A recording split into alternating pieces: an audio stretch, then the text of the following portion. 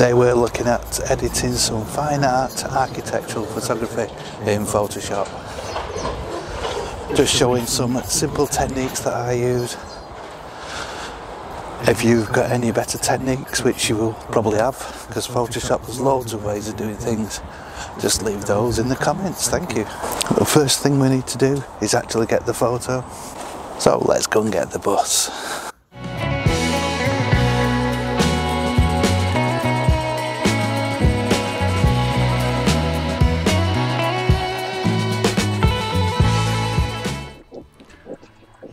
An angry office worker who's realised he's not what bought one of our latest prints. Building all the time in Manchester. The buildings down there, I'm sure they weren't there a couple of weeks ago. I'm not using a tripod because there are a lot of people walking around. This is a workplace, so uh, it wouldn't be fair. Also, uh, the weather forecast said there's going to be gusts of wind over 20 miles an hour, so it's not going to work anyway. So let's get some pictures done. What we're looking for is some shapes and some contrast. This is one Angel Square in Manchester. So let's get the pictures taken and back into Lightroom. Here we are with the pictures in Lightroom and before we switch it to black and white we're going to make sure the picture itself is okay. We're not going to be doing much here. I'm going to add a little bit of contrast. Look at the whites. Again, not a lot, just a bit in the blacks. Yeah, we're okay with that. Um, maybe some clarity. Yes, that's fine. What we're going to do then is change it to black and white. There we go. Now normally we'll be uh, amending the sliders to get different effects, but we're not going to use those this time because we're going to do all the work in Photoshop. Here we have our image in Photoshop and the first thing we're going to do is duplicate the layer just in case we mess up. And then we're going to tidy up this layer first of all. Then we will select the lasso tool and make a selection of anything we want removing from our image. Then we'll click on edit and fill. And this box appears. Make sure that content aware is highlighted. And then just simply press OK and it's gone. So we need to deselect the area we selected which is command and D on a Mac. Now we're going to look at our image. We're going to break it down into sections. Looking at this I'm going to have the sky as one section the top of the building where it's lighter as another we'll call that top right. Then we're going to have a top left and finally the bottom half of the building. I'm just going to call that just bottom there are loads of different tools you can make selections within Photoshop. I'm I'm going to keep it simple because I use the polygonal lasso tool. You've got to remember I am just doing this quickly uh, but the more time you spend on making your selections the better your image will look. So I have selected the sky now, I'm fairly happy with that, it doesn't have to be perfect for this demonstration. What we need to do is press on select, go down to save selection, then name your selection. So this one is the sky. So we'll put that in and then press OK. Now we can deselect the sky and start working on our other three selections remembering to save each selection as we uh, have made it and name it so we won't get confused. Now we're going to put a new layer on. That one doesn't interfere with anything below it so it's Control Alt Shift and E on Windows and Command Option Shift and E on a Mac. And what we're going to do then is put this layer on and we're going to actually name it Sky.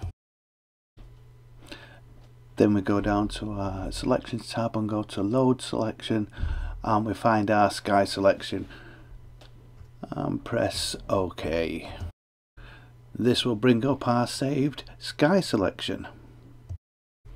Now we're going to add a exposure adjustment layer and we're going to darken the sky with this. So we take our exposure down just a touch. You can see it changing. There is a bit of a glow around the building as you can see there but this is easily fixed. By sampling just part of the sky and simply brushing that colour on around the building. Because the sky is selected, it, your brush colour will not uh, bleed over into the building.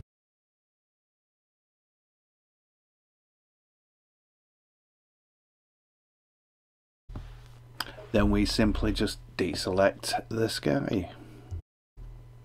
I'm quite happy with that. Now we can make a new layer the same way as we did previously.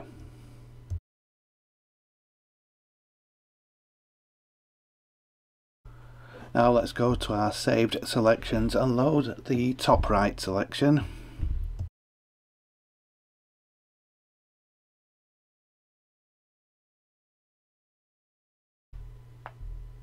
And this time we're going to make a curves adjustment layer.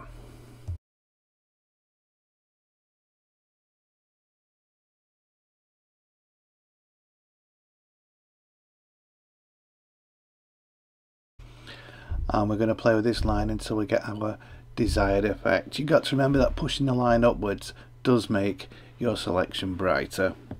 So we just amend it until we're happy with what we've got. And then we'll make a new layer as we did previously. Now what I think we'll do is add a little bit more contrast to the overall image.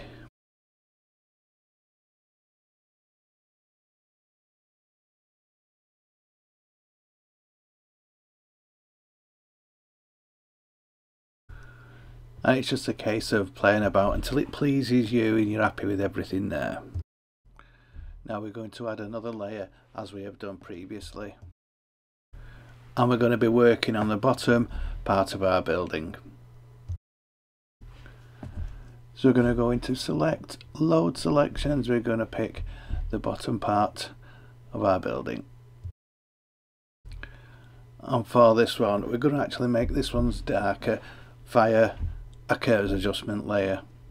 So it is a case of just bringing the line down. Before we pushed it up to make it lighter, now we're going to pull it down to make it darker until we're happy with what we've done.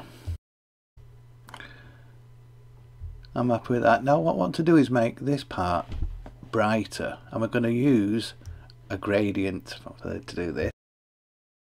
So we're going to add another layer as previously done.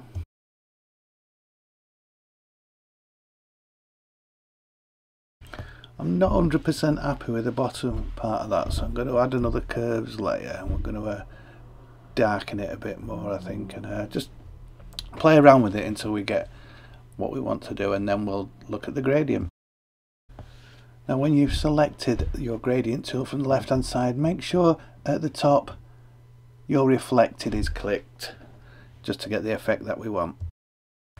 Now from the center of your curve you just keep pulling outwards until you get the effect that you want and it's as bright as you want. It does take a little bit of playing around with this so I'm going to carry on and we'll jump to when I've finished.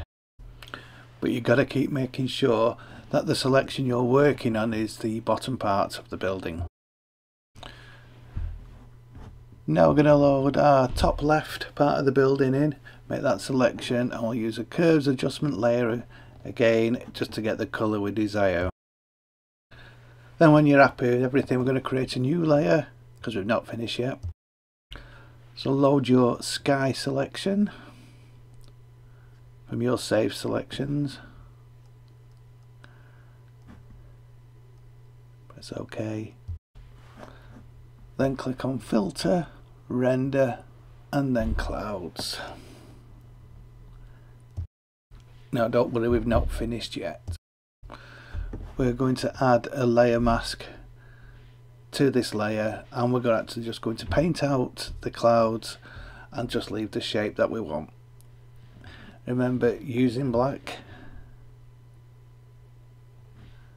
And then we're just going to brush out to what we want to leave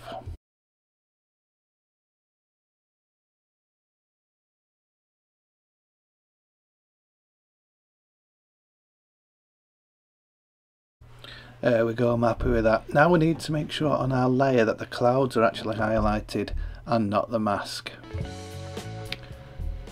Now from there we're going to go into filter and blur. Now we're looking for motion blur. There we go.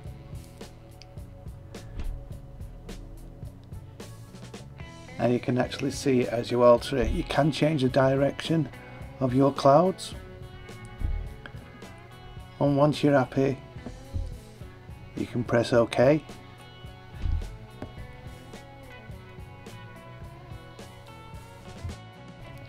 and you can keep repeating this blurring process as many times as you want until you've got the clouds looking like uh, you want them to. So this is the before picture and this is afterwards.